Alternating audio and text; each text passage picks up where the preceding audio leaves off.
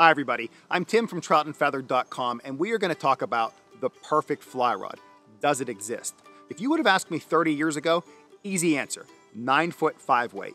Yet, I rarely fish that anymore. So, what's changed? We're going to talk about that today, plus, I'm going to share with you the three fly rods that I think are perfect, at least for me. Stay tuned.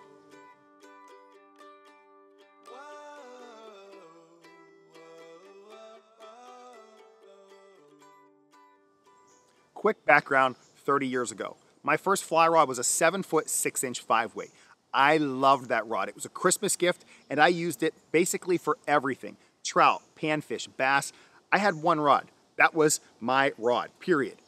But I started reading magazine articles. I don't know, watching that TV show. I mean, watching VHS tapes. Yes, I watched them. So I was doing all of that kind of research as a young teenager, and I realized the perfect fly rod existed. It was a nine foot five weight. So you can imagine my disappointment when my dad got us two new fly rods. At least they were new to us.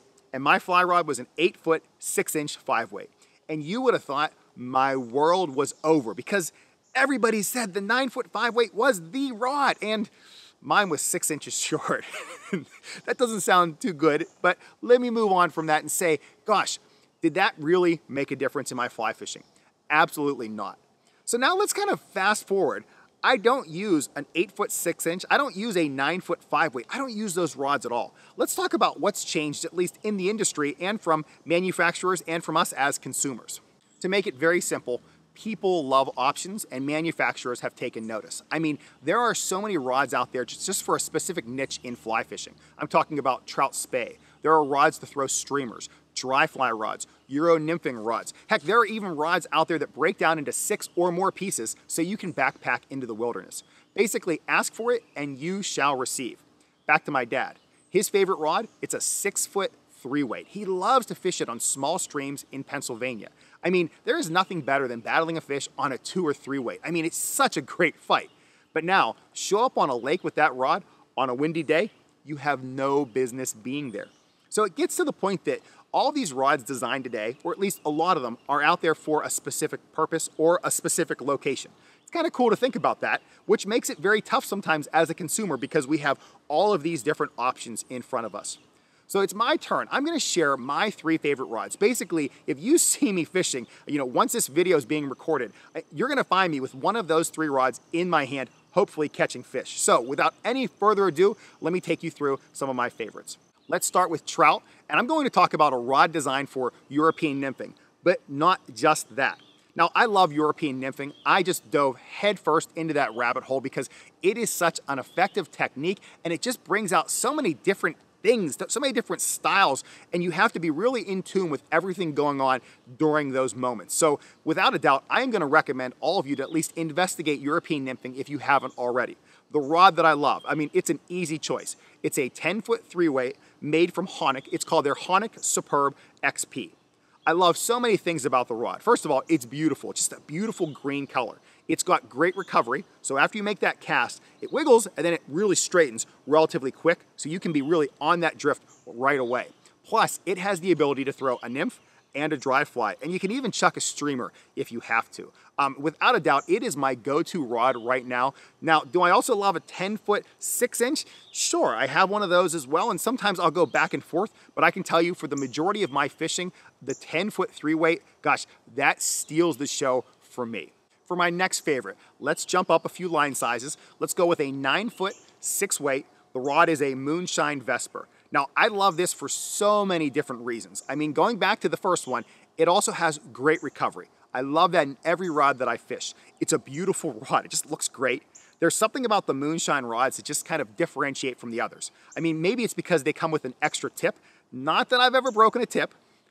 Spoiler alert, I have before. But it's great to be able to have a backup just in case you're ready to go. So kind of plus one with the, the Moonshine Rod Company.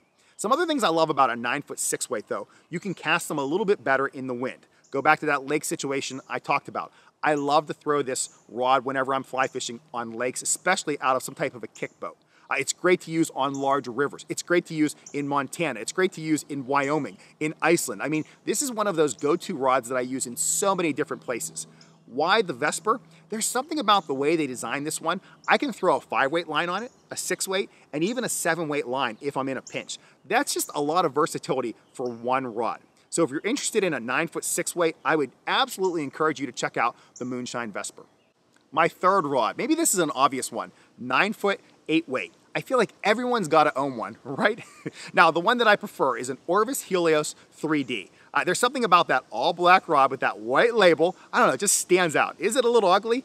Yes, but it's also that rod that I grab for almost all the time whenever I'm chasing striped bass, whenever I'm going after larger largemouth bass. Now, can I get by with my six weight for largemouth? Sure, I can, but if it's a windy day or I'm tossing really large flies, I'd much rather go with the eight weight. It's gonna make it a little bit easier. What about when I'm doing some saltwater fishing? Will that fly rod, the eight weight, work out? It will at times, depending on a few factors. It's gonna depend on the species of fish you're chasing, it's gonna depend on how windy it is, and also what size of fly are you tossing. Like right now, there's a little bit of wind while I'm recording.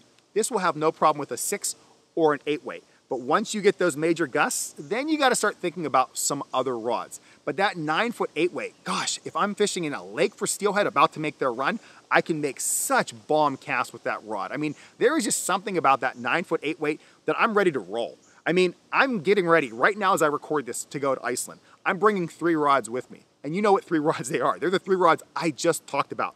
Those three rods are going to cover all of my needs when I'm traveling. Now I know what somebody's going to ask. Tim, so you only own three rods? Come on, no, of course not. I mean, this is an addiction for me. I'm sure it is for many of you as well. I own a bunch of rods, but I can tell you one that I rarely fish anymore. It's that nine foot five weight. It just doesn't have a place in my regular artillery, I guess, of fly rods. I still love that rod. There's something that's great about it, but it's just not one that I, I reach for on a regular basis. Now, whenever I think about other species that I chase, I mean, I just started getting involved in fly fishing for muskie. Oh my gosh, talk about an addiction. But I realized I brought my eight weight with me, it wasn't enough only because the flies that I was throwing, they were so large and that rod, it was more like chucking them. So now I'm looking for recommendations of a muskie rod. So if any of you like to fly fish for muskies, hey, shoot me an email because I need to learn about a new rod for that species. So let's get back to the title of this video, the perfect fly rod. Is there a perfect fly rod for me? There's not one, there are three. But now it's your turn. Tell me about your perfect fly rod, but don't just tell me about the rod. Tell me about what you use it for, what species, where you're located. Give us some details down below in the comment section because gosh, there are so many great fly rods out there and I'd love to hear which one really is that one that you turn to, even if it is a nine foot five weight. Thank you everyone for watching this video. If you'd like to watch more videos like this, you can check them out on my website, which is troutandfeather.com. If you have any questions or comments, you can leave them down below in the comment section, or you can email me. Should be showing up on the screen right now at tcammisa at gmail.com. If you're into social media, you can find Trout and Feather on Facebook, on Instagram, on Twitter. I am now even making these videos called TikToks. I mean, TikTok is hysterical. You may have seen some of the short videos that I've posted on my website. Uh, gosh, they are so much fun to make, and I hope you enjoy them too. Well, once again, thank you ahead of time for watching this video, and I hope to see many of you soon.